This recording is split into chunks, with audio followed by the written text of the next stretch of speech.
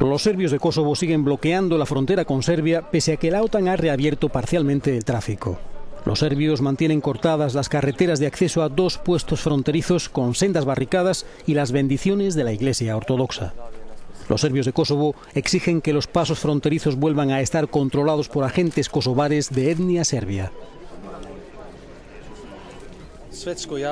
Queremos demostrarle al mundo que no aceptamos ningún ultimátum de Pristina porque estamos ligados a la madre Serbia y hacemos esto pacífica y conscientemente, con dignidad.